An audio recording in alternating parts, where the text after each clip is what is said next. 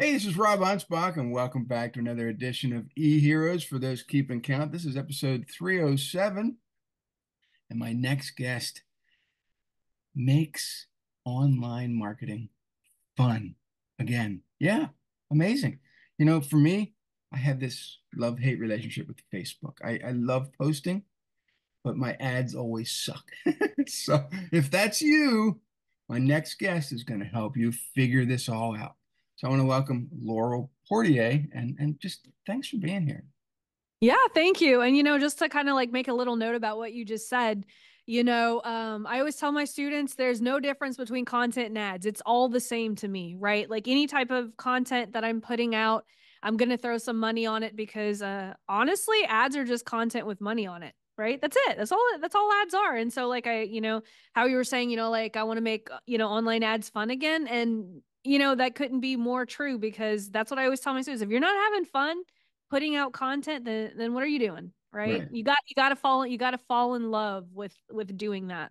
And and you know, the one of the reasons I, I have you here is because you've become an expert. You you know a lot of the people that I know. And a lot of the people that that I've trained early on have gone to you for ads, which is great. I mean, I'm I'm honored to have you on the show. You know, but what I'm seeing lately is people saying, hey, I'll just put your ads up there. And then they don't run demographics, they don't run any of this other stuff. And then you look at what they're doing, I'm like, what the hell? All these comments are from people that don't even match what you're trying to sell. Oh yeah. Per oh, 100%. You know, like I um I I get this with students all the time because they get so many people get like so obsessed with like the details, like the targeting and all of these things, and at the end of the day none of that matters, right?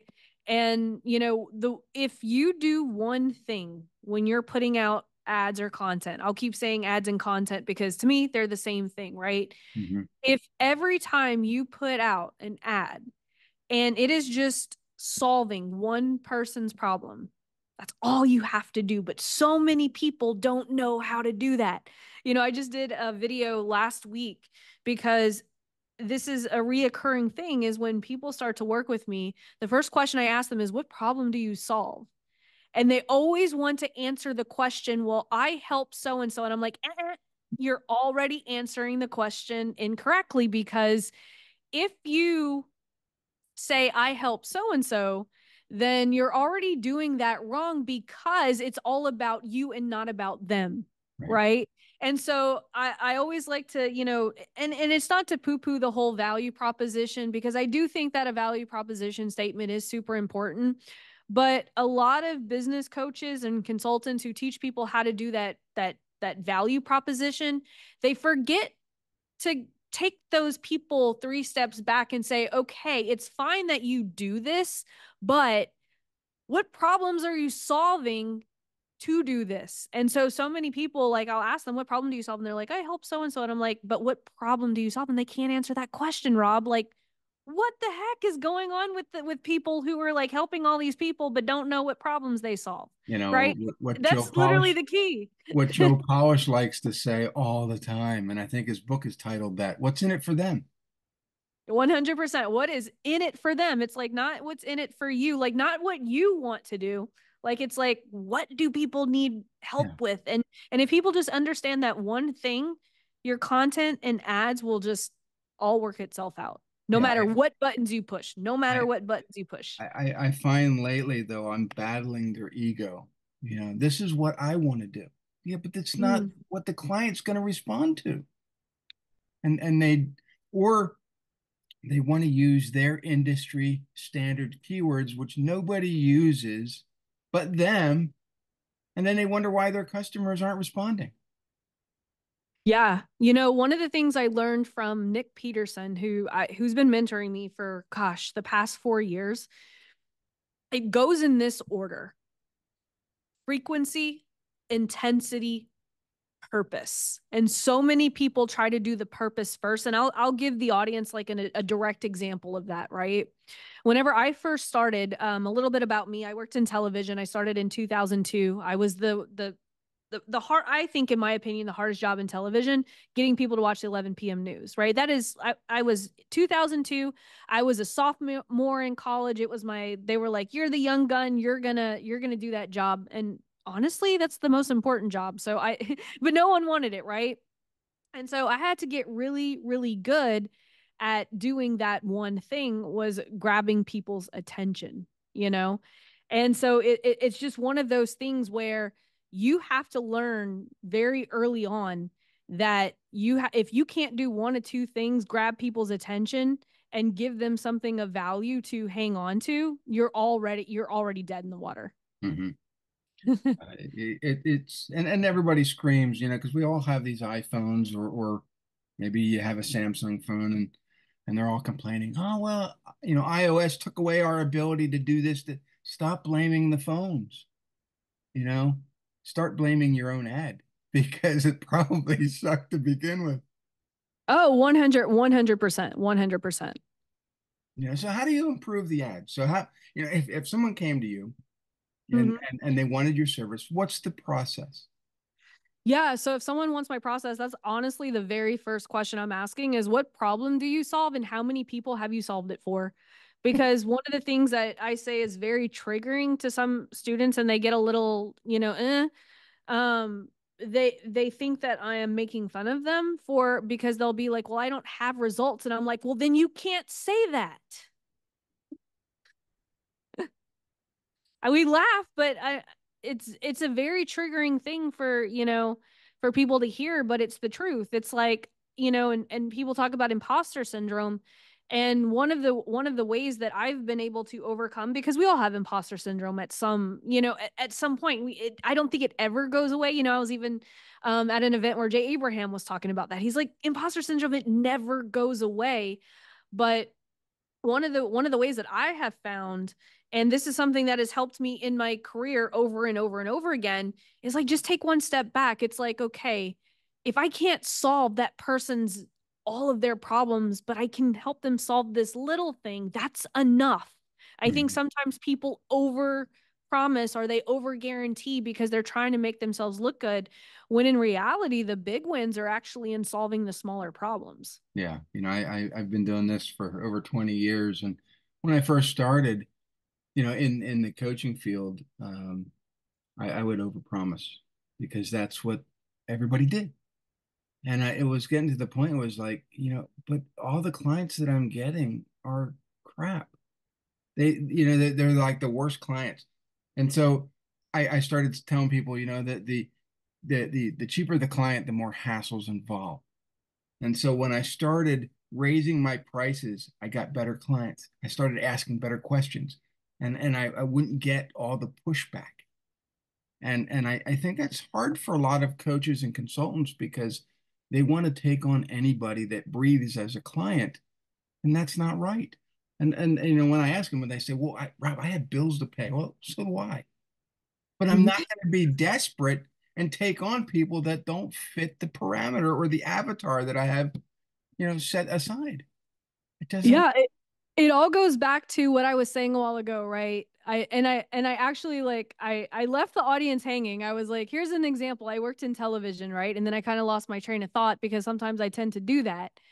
Like it all goes back to frequency, intensity, purpose, right? So I worked in television a super long time. In 2018, I started my business and I thought that my purpose was to cut out the middleman because in television I I did commercials for, you know, primetime television. I did it for news programs.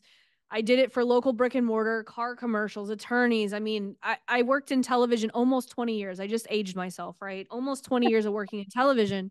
And so whenever I had the, you know, the idea that I was going to do ads for businesses, I really wanted to work with local brick and mortar. That was what I thought my purpose was, right? Mm-hmm. But if we go back to frequency, intensity, purpose, you have to start with frequency because, to your point, you don't know who you can help. Mm-hmm. So, in the very beginning, I was going live every single day and I was teaching these simple $5 ads that I had been doing to launch all of these TV shows and the, the ads that we were doing to launch all of these commercials for all of these clients that we had at, at the TV station, right? And so I would I, I took on a couple of brick and mortar clients and I'm like, I would never work with those those bro marketers, those like I I didn't even know what online coaching was. Honestly, I thought it was a big scam because the it was just very scammy.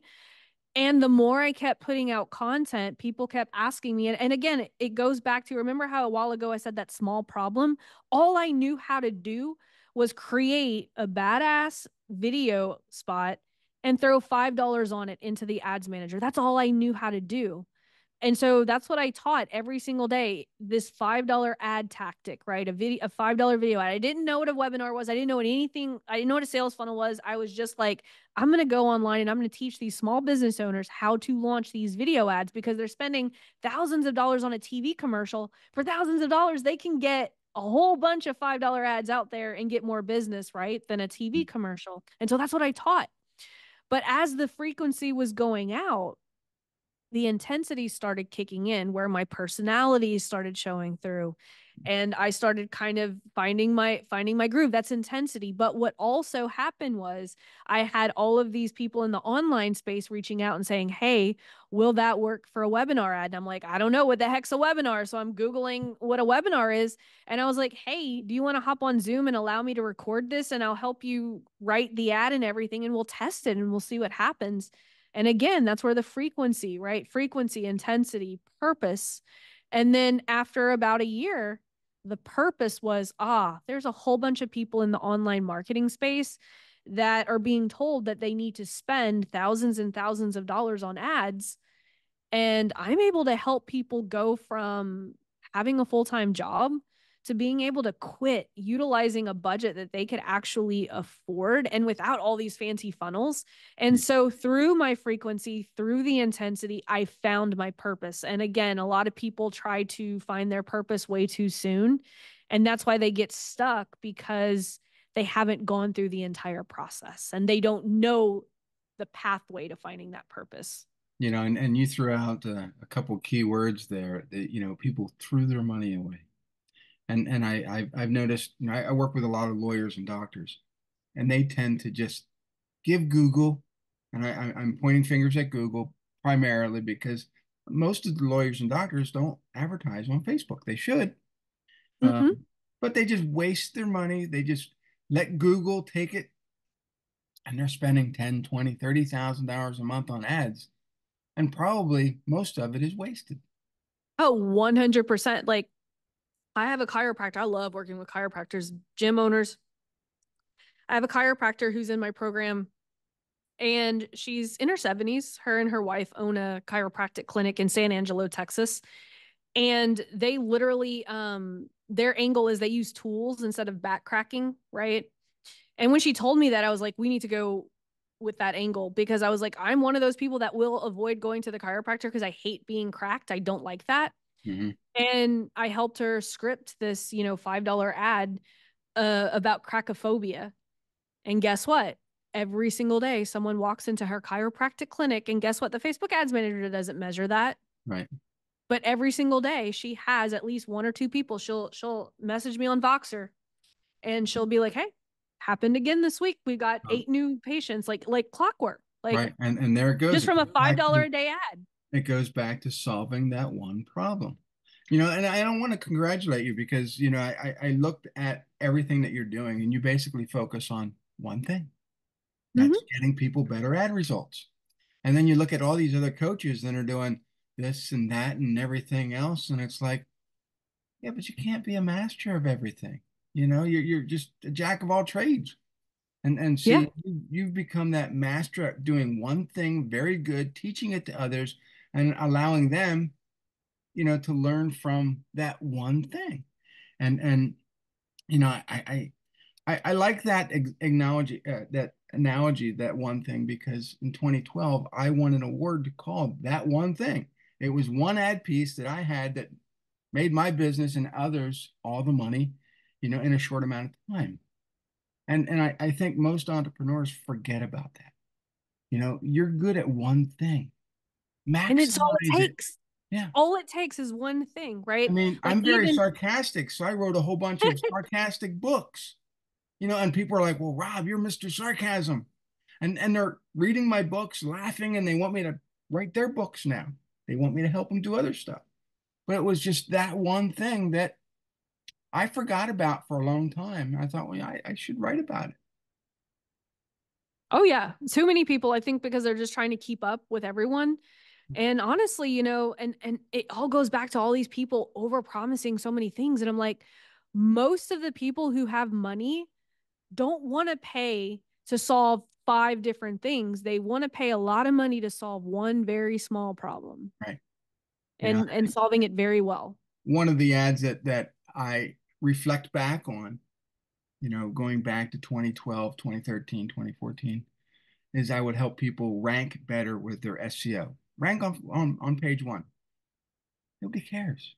Nobody honestly cares because if if I can get that ad delivered to you to that one person that I want to target, that's all that matters. Doesn't matter if it's on page one. Doesn't matter if it's on page 15. If I can get that ad to you, that's I'm probably on page like 200 or something. I don't even I, know. You know, I, I tell people all the time, they're, they're like, Rob, where are you ranking? Doesn't matter. You contacted me, didn't you? so it's, it's, I think we have to target our ads to the people that directly need our service and forget about all the other mumbo jumbo crap. Yep. 100%. There's, you know, and I'll, I'll be the first to say I'm not the best at pushing buttons. Um, I, I always just have the, the philosophy that, you know, if you put the right ad in front of the right person, it doesn't matter whether it's a conversion ad, a video ad, a tra- like it does not matter because it's not like, you know, I always look at television. I've never had a car dealership storm into my cubicle, right? My edit bay, because I didn't have an office, and say, I demand to know what commercial led me to get three car sales this week? Or are you using what what what are you what button are you pushing to launch my commercial on TV? Right? It doesn't it doesn't matter. It showed up on TV and people saw it and they went and bought it. And so like I kind of like and I think I think that's what's kind of um helped me understand the online space a little bit is because I had the foundations of how advertising actually works where I think a lot of people who are online they have this very techy version of how advertising is supposed to work and right. i think that's what trips most people up is they oh. think that the key is like in the button or the optimization like or, or on mm-hmm. these little things when it's like no you just got to put the right piece of content in front of the right person but wasn't there a learning curve because you went from commercial ads commercial advertising to now you know selling yourself this personalized service to help your clients get online. So there was a, a, bit of a, a difference between advertising and marketing, um, you know, from commercial to personalized service. Nope, not no. at all. Wow. Not at all. Like walked right into it because I, because like think about this, right? Going back to it was my job to get people to watch the 11 o'clock news that's the signature framework that i'm known for for my video ads. Headline promise of value right? That's the that's the thing. So I'll, I'll, tell you a little story. So whenever i worked at cbs in dallas we were like dead last. We're talking number four. Cbs for cbs to be dead last under fox is like that doesn't happen right? We were we were behind. And i had this idea. I was like, and we had the 10 o'clock news in, in Dallas. I had this idea. What if we told told people during ratings that they would find out the answer to this in the first 10 minutes of the newscast. Instead of just saying next at 10 blah blah blah blah blah and people not knowing how long they had to watch the newscast. But i was like in the first 10 minutes you're going to find out these three things that you need to know for tomorrow. What do you think happened? Mm-hmm. they stuck around. They stuck around because they knew it only in in only 10 minutes i'm okay uh, it's worth sticking around for 10 minutes after csi rolled right? Mm-hmm. and i brought that formula into like what's actually in my book right? Super duper profitable ads. That's the super duper profitable ads. The power i call it a power content framework headline promise of value.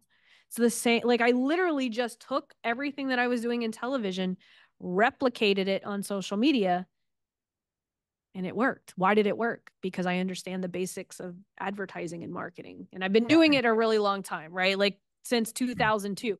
Right. Funny story, I actually flunked my advertising class in college. I didn't think I needed advertising. I was like, this is bullshit. This is hard. I was like, I don't understand all of these campaigns and everything.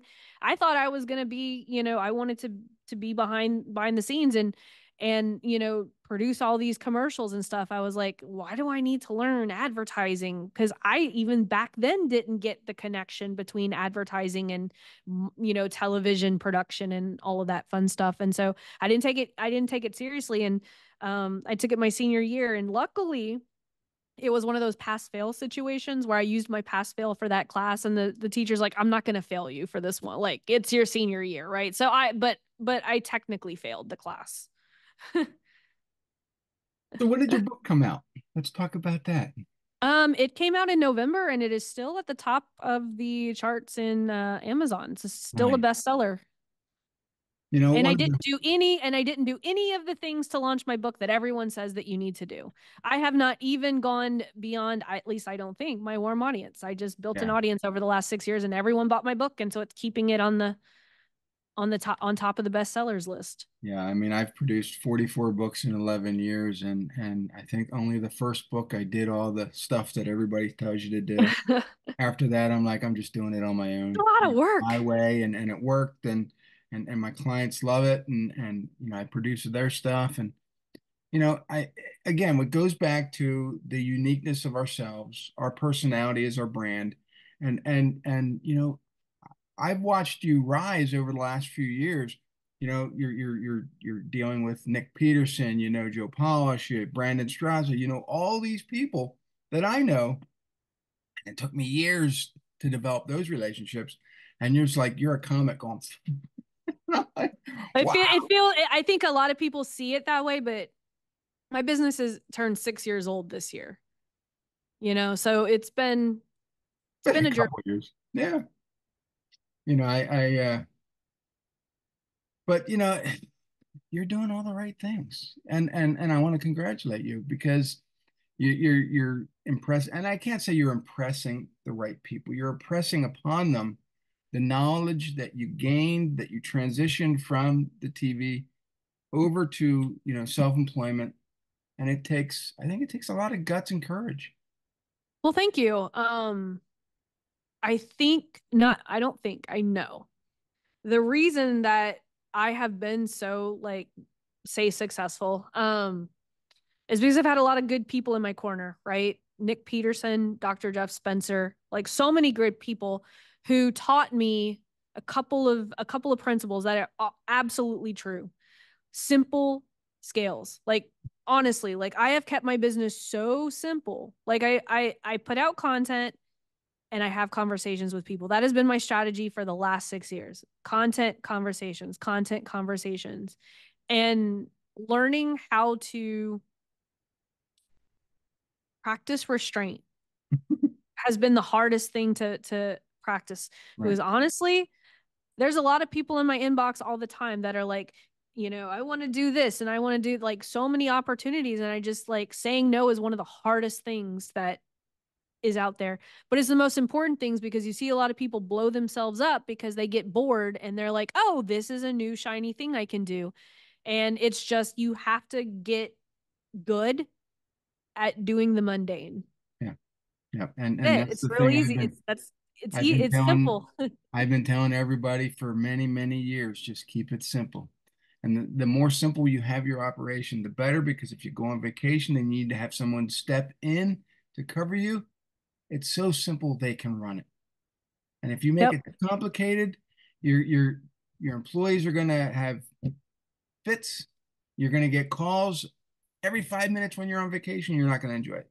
So keep it simple. Yeah, we don't even have employees. Like I didn't even go. I didn't even go beyond that. Like because I that was one of the first things I told I whenever I first started working with Nick. I was like, this is what I want. What I want to build, but I want to build it without having employees. My wife and I run the entire the entire operation. She worked, you know, human resources for Delta Airlines and so she was the perfect person to put in the operations position, right? And so we both were able to quit our jobs at the same time And, you know, I always like Dr. Jeff says, Laurel, Laurel, you're the one that fucks everything up and your wife is the one that fix, fixes everything and organizes it all. And I'm like, you couldn't have pegged us better.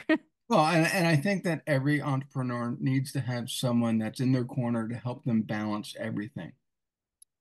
And, um, you know, without that, we do, we, we, we screw up.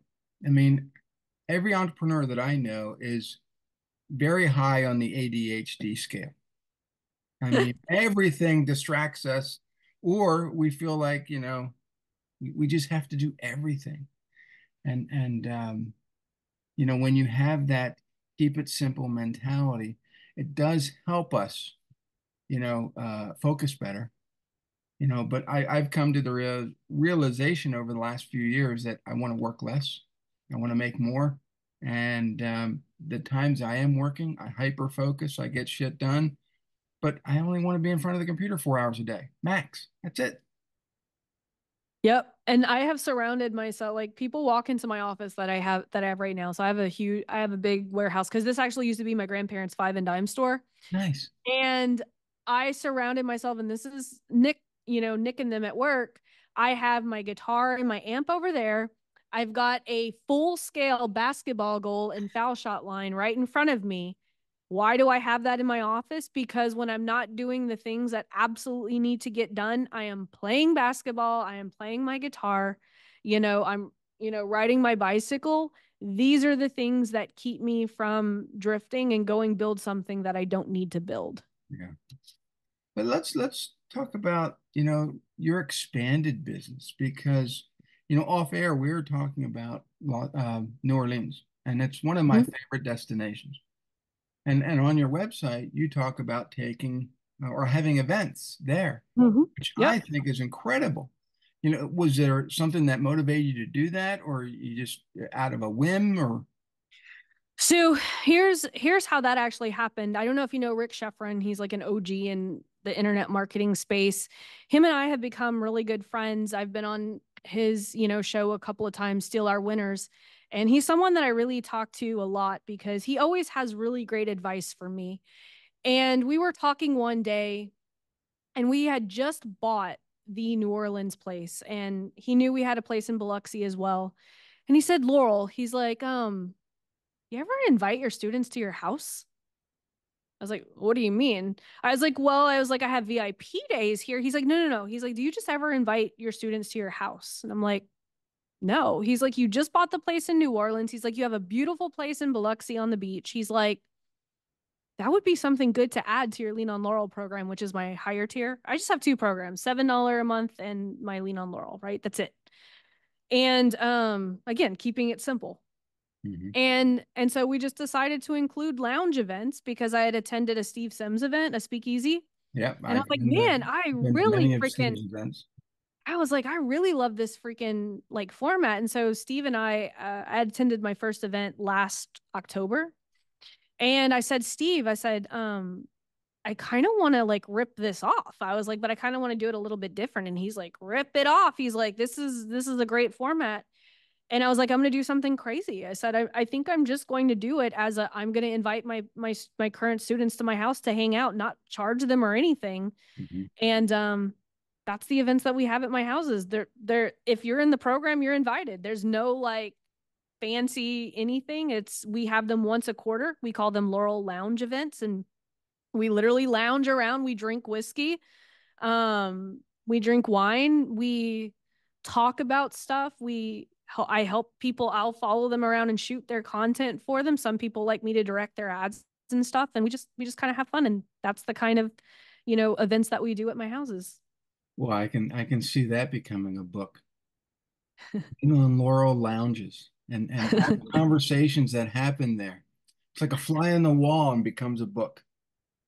Oh, it's it's so much fun. I ha- but I work with a lot of amazing students who have just awesome stories and it's just it's just really fun. It's just well, fun. I I love engaging with my audience. My my wife and I were there uh, in in uh, 2019 for our 30th anniversary. And while we were there, we booked a a uh, a bike group. You know, you you, you ride bikes around uh, New Orleans, and we were the youngest people in this group. All the other people were like in their 70s and 80s. And they're whizzing by us like there's I'm like, what the hell? Oh like, yeah. This is crazy. And by the time we got off this bike, it was I think it was three or four hour uh, deal. We could barely walk back to our hotel. and we were so sore. And uh yeah, I, I don't think I want to do that again. But oh man, yeah, our neighbors in New Orleans, they will outdo us partying, like physically, like just everything. Like people in New Orleans, they're um I think a lot of people think New Orleans, they think about, you know, people eating a lot and stuff like that. But people in New Orleans are very, very active. You know, yeah. they don't just sit at home, they don't just sit around at home. no, and but it's it's a it was the first city I went to that I didn't have to rent a car. Mm, you know, yep. I, I, just got out of the airport, got a um, um, Uber to the hotel, and uh, I walked everywhere, and it was just it was fantastic. Yeah, there's no place to park. We we have to. whenever I drive into the French Quarter, I drive straight to the Omni, and uh, that's where we have our valet. And I'm like, take my car. I don't want it. And uh, yeah, there's no there's no driving in in the French Quarter. So, what do you do? You have any uh, horror stories that you want to share about um, clients that you've dealt? You don't have to name names, um, but you know, I, I over the years I've gotten my mm-hmm. share of PITAs, you know, uh, pain in the ass clients, and um, you know, I, I some there, there's just it's either I want to charge them more or I just have to say no because it's just yeah. I, I had one person came to me and they had a lot of money and I was like, okay, if I take this, I'm selling my soul, uh, but it's good money. Um, and, and, it was it was very tempting. And and so we had this uh, call, and she was ready to pay, but she was just absolute nightmare. And and and she wanted, well, we want to do weekly call-ins, and I'm like, that's not part of my deal. I'm not. I, no, I, I, don't do that. And and you have to be part of this. Was either Asana or Trello or one of those time management tracking mm. things, and I don't like doing that either. Already, already, I'm like, no, this is a bad idea. No, no, this isn't. No, and I had to turn her down, and and and I, and like I said, it was it was it, a lot of money, and uh, and you know sometimes I kick myself, but then I realize it's like, what it probably wouldn't have worked anyway. I would have fired her in 10 minutes. Yeah, probably like the worst one. And I have um Nick has done a really good job of helping me avoid those types of situations because um both of my programs are on a wait list so now i can really cherry pick who i who i actually work with mm-hmm. but um i had a hor- like if you were talking about a horror story um probably happened about six months ago and it was a member of my seven dollar program and she was posting all these wins like hey this i launched this ad and this happened and i launched this ad and this happened like success story after success story and then all of a sudden things turned turned a little negative in the group. And she was like this strategy doesn't work and all of this stuff. And i'm like this woman is crazy. Like i was like just a couple of like weeks ago she couldn't stop posting that the strategy was the best she'd ever seen.